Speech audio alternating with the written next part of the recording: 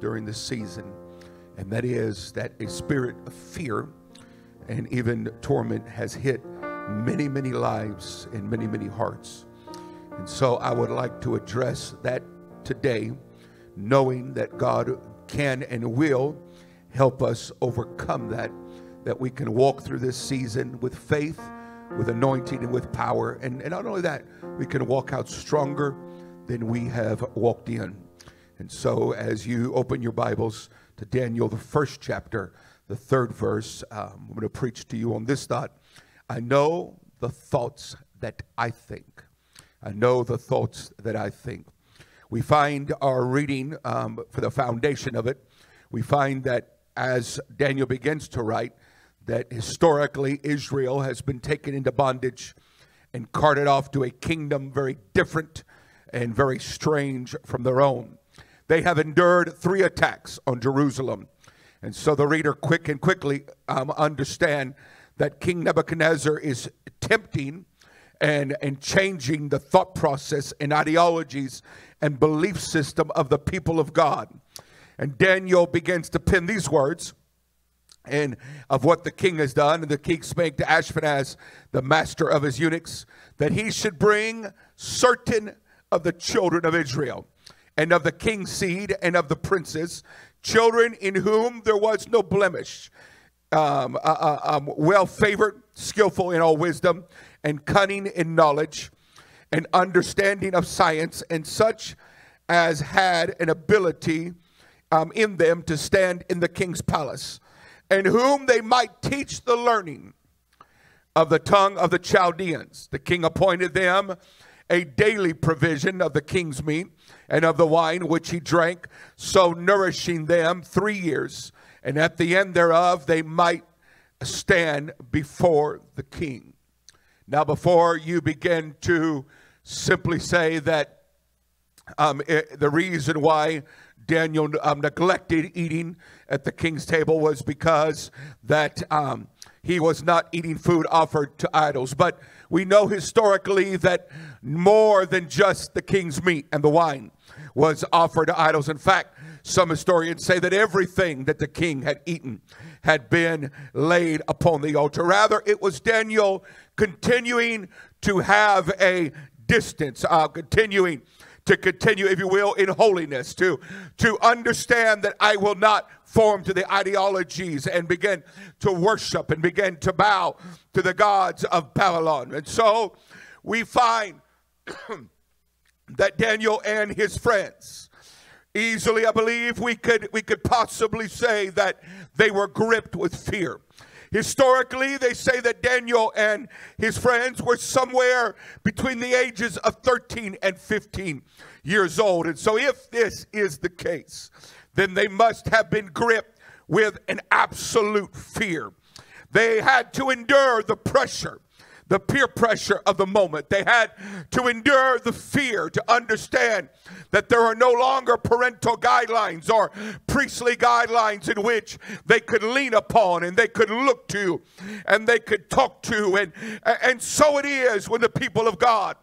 I, am tempted to come uh, with the grips uh, of of their plight now in life, and and so with all that, with Daniel, and Shadrach and Meshach Abednego standing there and saying, I will not eat of the king's provision. I, I will continue to only eat things that are kosher. If I have to eat be a salad man, then, then so be it. Uh, but I have made up in my mind uh, that I will not allow my thoughts uh, to be twisted, uh, my thoughts to be changed, uh, the way that I view God and the way that I view my life to be changed uh, by what is going on in society.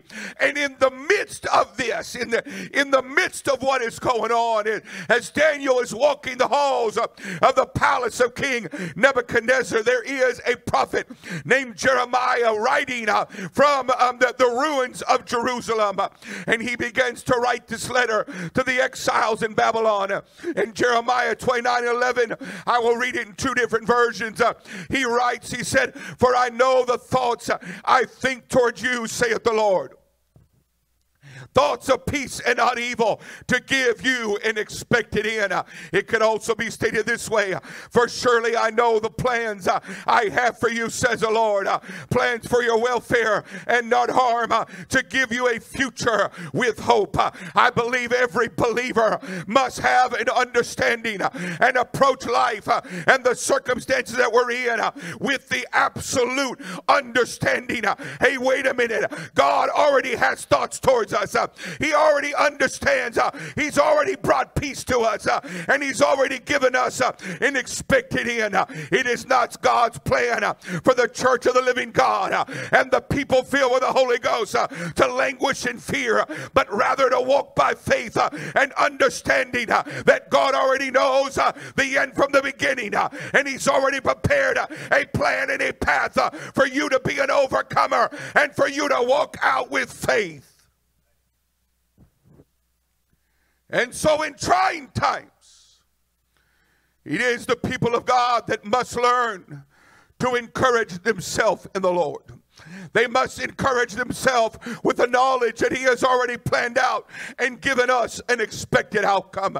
We can find this uh, throughout the New Testament as the readers of Second Timothy. They discover uh, a lonely Paul languishing in a Roman prison, uh, writing to his consort Timothy. Uh, he is not dealing with the fact uh, that he understands uh, that he has an impending death right around the corner, but rather he leaves young Timothy with words of encouragement uh, as he writes to him, For God has not given you, uh, this, given us the spirit of fear, but of power and love uh, and of a sound mind.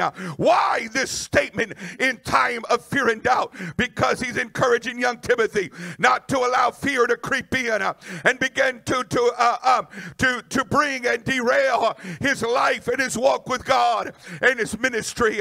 But rather, Paul is writing during a time of tribulation uh, that when you are walking uh, through some dark times, uh, that God has given you the power and love and a sound mind. He has given us courage, not a cowardly fear, but a courage that Christian service should bring. A, a service that always uh, um, causes the Christian to walk in courage. Courage that comes from a continual consciousness of the presence and the promises of God. He has given us power, true Christians. There should be a power to cope a power to shoulder backbreaking tasks, a power to stand firm when faced uh, with shattering situations, a power to, uh, to retain faith when confronted by soul destroying sorrow and by wounding disappointment. Uh, Christians, Christians should characteristically be people who can pass what the world considers a breaking point and not break. Why? Because we have the power of God within our lives. And he also has given us love. In Timothy's case, it was a love for his brothers and sisters and for a congregation of the people of Christ whom he was set over. It was, it was that love, that love that, that, that helps us during these times, not to turn in in fear, but rather to turn out and begin to help people in, in, in similar situations. Not, not a power that calls us to try to, to, if you will, to circle the wagons and try to wait it out, but a power to pray and love and help those in times of trouble. But also, he has given us self discipline. The worst their word there is so friend a friend ismos. As some writers say, it is un, an untranslatable Greek word.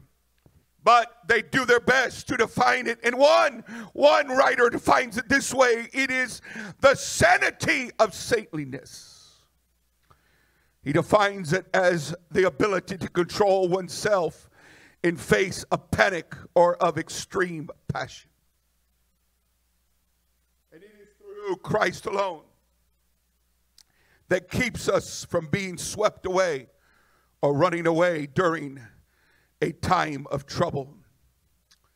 And so no one can really help others until they have self control within their lives, a self control that is divinely given a self control which makes people great leaders and others to be powerful servants of an almighty God that starts with control of themselves. And so when life hurls both at society and the church, an absolute fear and an absolute torment, we must remember continually as in, again in Second Timothy that God has not given us the spirit of fear, but of power and love and of a sound mind. What about my job? God has not given us the spirit of fear. What about disease? God has not given us the spirit of fear. What about the economy? God has not given us the spirit of fear. What about a world that seems to be deteriorating around us? God has not given us the spirit of fear. But I come to challenge the church uh, that in this time uh, and in this season, it is time for the church uh, to rise and be everything that she should have been being all along. Because we must remember that there is power in prayer, there is power in worship worship. And there is power when the people of God unite together and pray and say, God, will you bring us out? And will you fill people with the Holy Ghost in the midst of chaos? In one of the churches I was just in, a young lady stands up and she begins to talk about everything that has been going on. She talked about the fact that she lost a job and God challenged her and God told her, you, you say you trust me, but you really don't. And so she went 10 months, 10 months without ever working a job. She said, but in the midst of it all, the car was paid, the house was paid, every single, she did not, not one bill was late.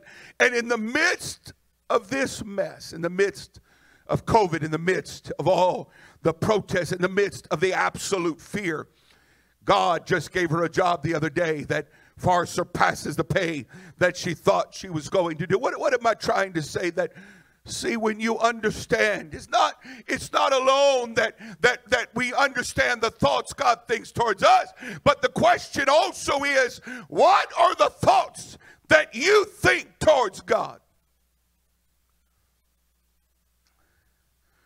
and so if you're suffering fear if you're suffering with torment. I have the answer. First John tells us this. For in 18, but there, there is no love, there's no fear in love. For perfect love casteth out all fear. Because fear hath torment. He, he that feareth is not made perfect in love. We love him. Why? Because he first loved us. And if, and if you are hearing this message and you you begin to say, well, but, but I'm suffering with fear.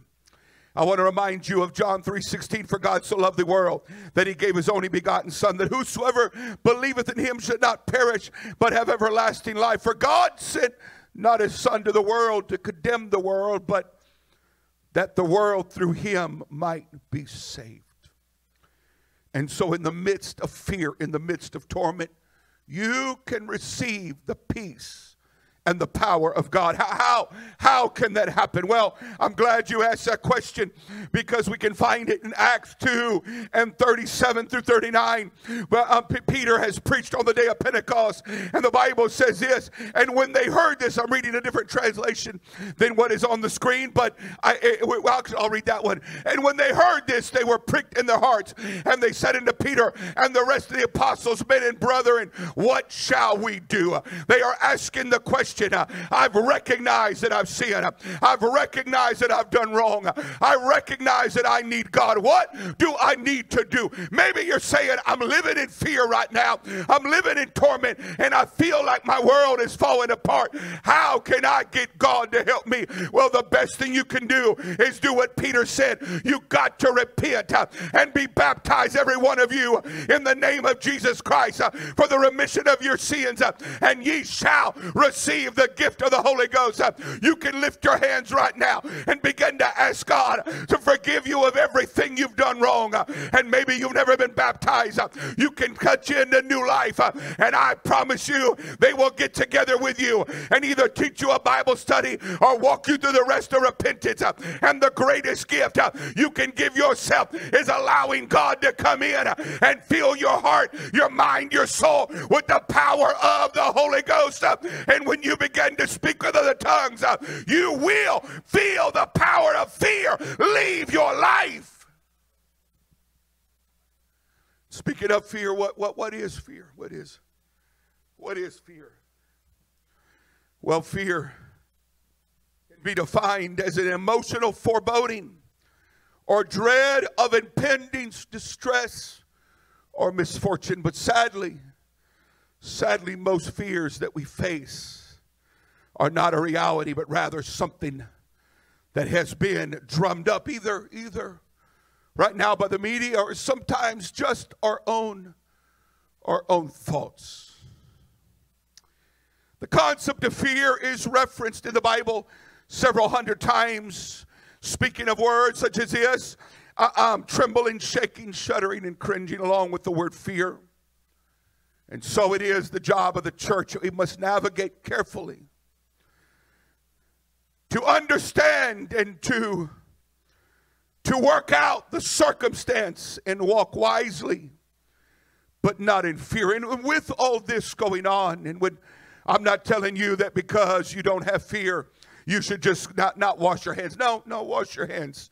Be smart. In fact, wash your hands all the time especially after you go to the bathroom or, or, before you eat or after you someone snotted and shook their hands or you touch a basket or whatever it may be. No no no. I'm not saying that fear makes you act dumb. No that's not what i'm saying. You you must be wise. You must be healthy. And and by the way if you simply do what you're supposed to you you won't you won't have to worry quite a bit. But but but yet but yet this this absolute fear that has caused people to to hide in their homes and and to do things they never thought they would do and and so fear began to grip so many lives. But Paul writes and gives a believer an answer in the book of Ephesus. He says this something like this, therefore. Take all, take all, uh, Ephesians 6 and 13. Wherefore take unto you the whole armor of God, that ye may be able to withstand in an evil day, having done all to stand. Stand. And so he writes, to his readers and states that having overcome everything, you, you will be standing. It's not done through social media, it's not done through a self help book.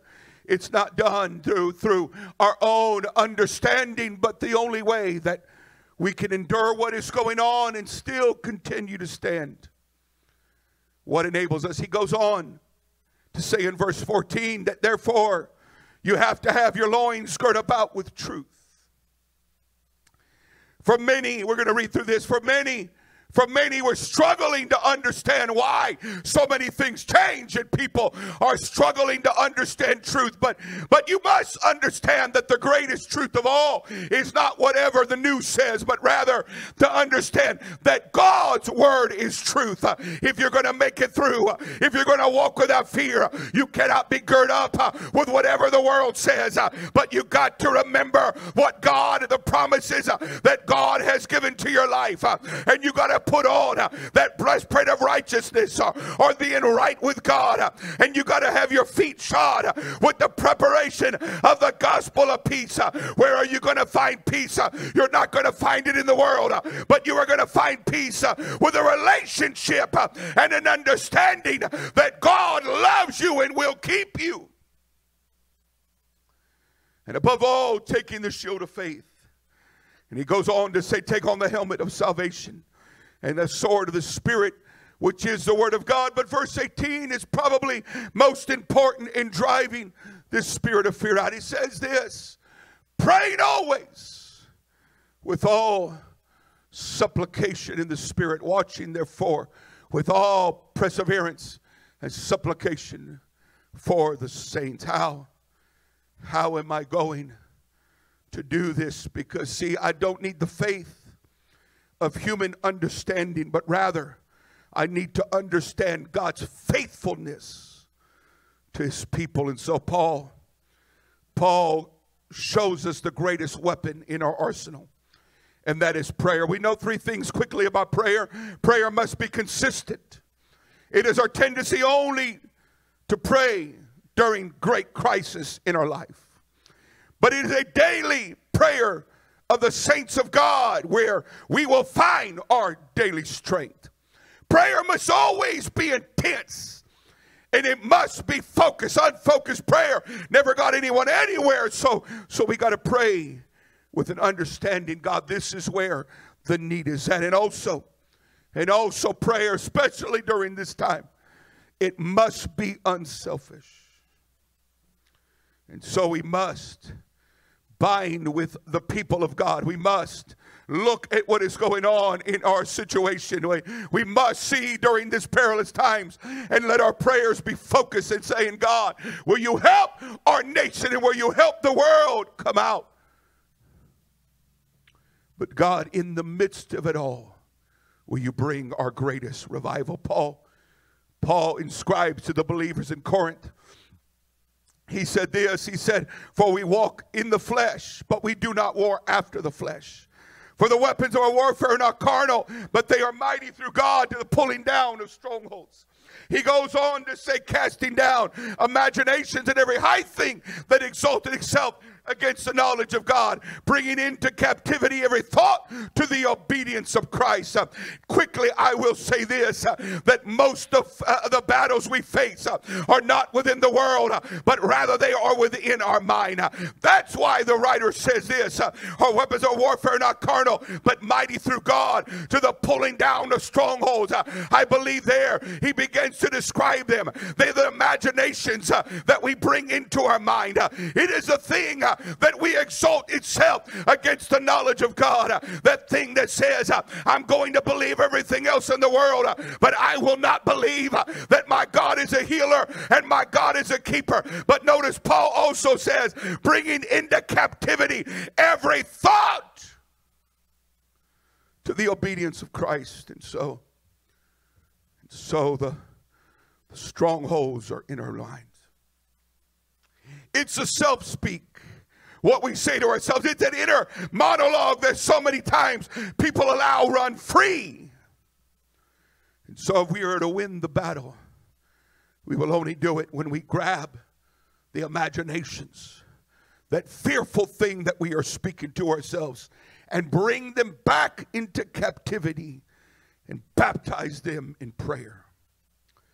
And so, what needs to be done will not be done by attempting to intellectualize our situation. But it will only come when you reach out with faith in an almighty God. Now, for rather, not trying to dabble in anyone's business, but be careful how much you allow social media and even the news to overtake your life. There is what is called in in my schooling right now the cognitive triangle. so simply it's this the thoughts that you think affect the emotions that you have. And the emotions will affect your behavior. Or it could be that your thoughts will respond in action, and action will then uh, uh, move to emotion. And so, the only way you can stop your emotion from going crazy and from your actions from going nuts is to take control of your thoughts. That's why we must bring every thought into the obedience of Christ.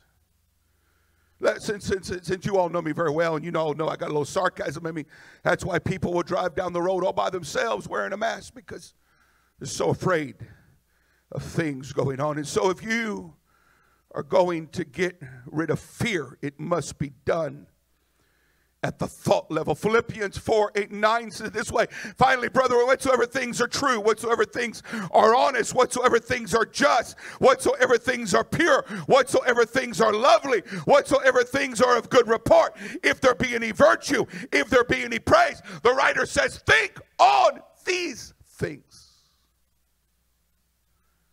Those things which you have both learned and received and heard and seen in me, uh, um, do, and the peace, and the God of peace shall be with you. So, how you walk with God and the thoughts you think will bring the peace that passes all understanding. So, my focus then will not be on the fear.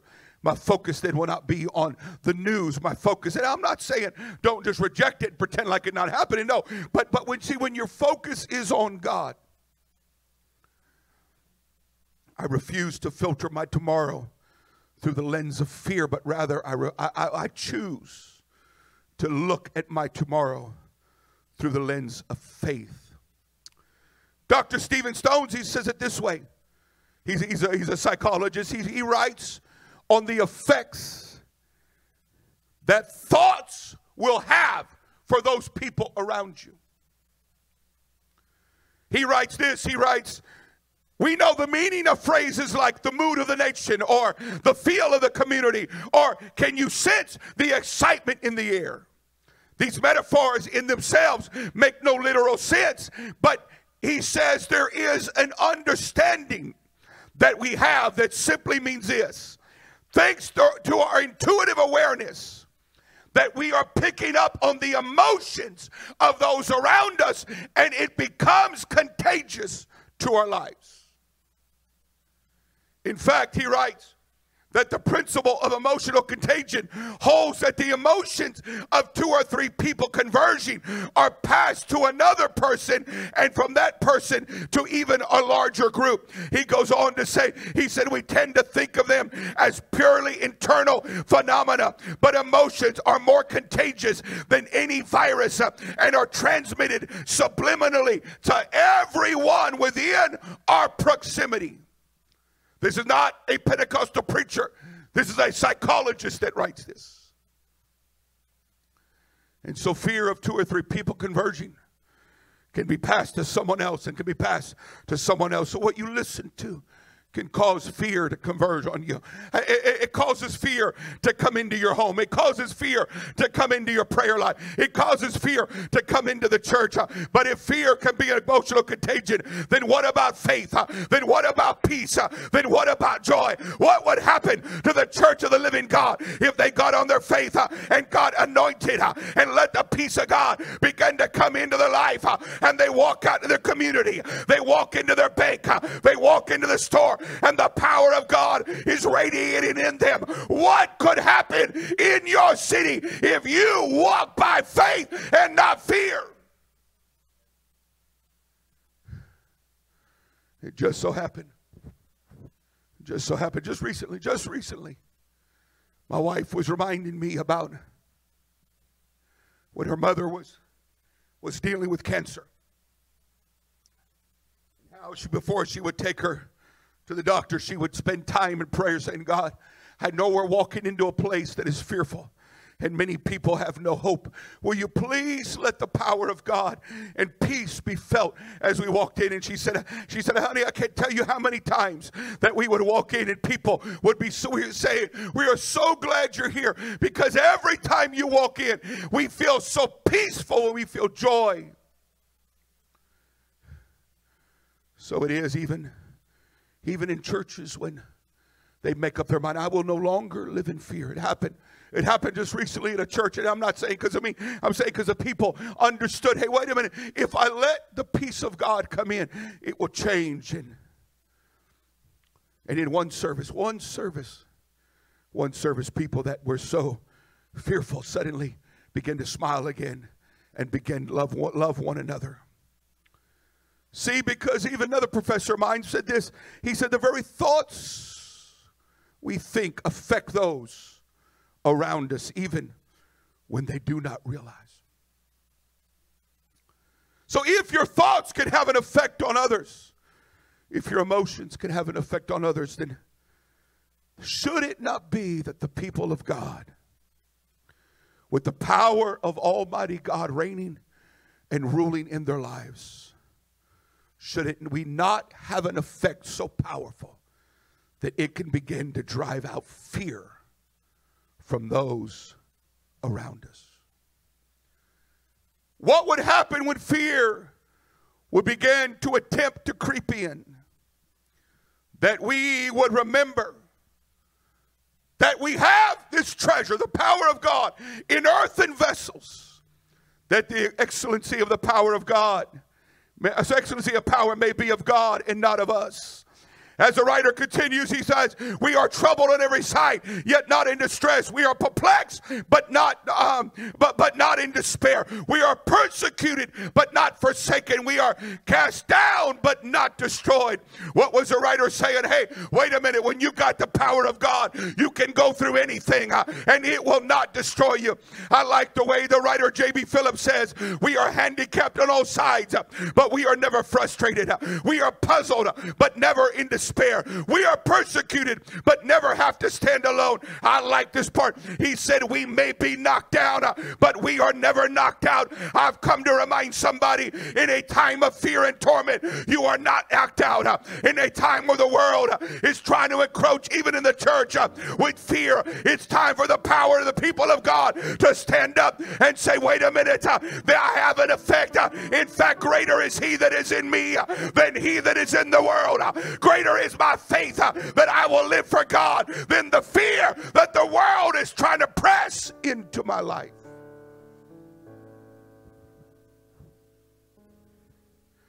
And so, in these trying times, as Jeremiah said again, for I know the thoughts I think toward you, saith the Lord, thoughts of peace and not evil, to give you an expected end. It's not enough to understand the thoughts God thinks towards us. It is also just as important to understand the thoughts we think towards Him. Again, it's Paul in Romans. He's writing to a people he's never visited.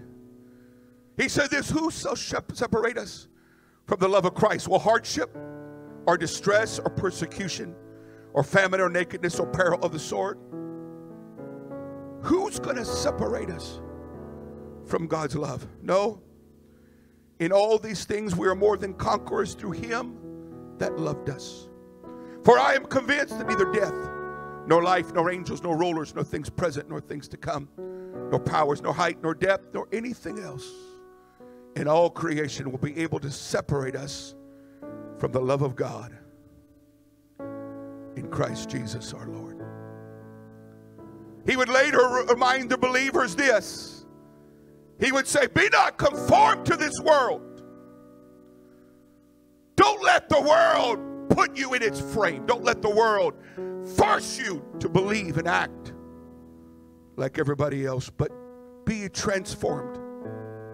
Again, how how then? How then? How then? How can you be transformed? The only way is by the renewing of your mind. The word there's anakainosis to means to renovation of the mind. In a time of fear, in a time of torment, in a time where we are asking questions and wondering how we're going to make another day. It's time to renew our mind. How? Renew it by prayer.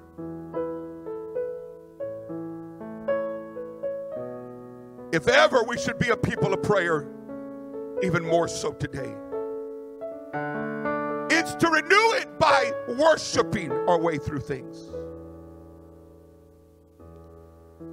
It's remembering the thoughts that God has thought towards me, but also the thoughts I think towards Him. It's, it's not allowing that fear to dwell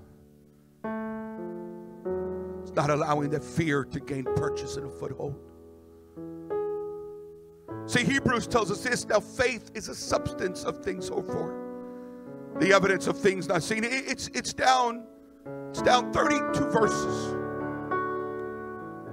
They write this who through faith subdued kingdoms, wrought righteousness, obtained promises, stopped the mouth of lions, quenched the violence of fire, escaped the edge of the sword.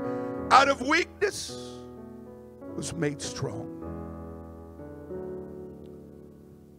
How then? What are your thoughts towards God? Have you spent the time to get alone with Him? Because, see, faith will allow you to walk with God. Fear will hinder your prayers, it will hinder your worship. Not only that, it also will affect everybody around you. I know the thoughts I think towards you, said the Lord. But I've come to ask the question to remind us we better make sure the thoughts we think towards Him. And so, in closing, as we are in our homes, I wonder maybe you could close your eyes and lift your hands one more time.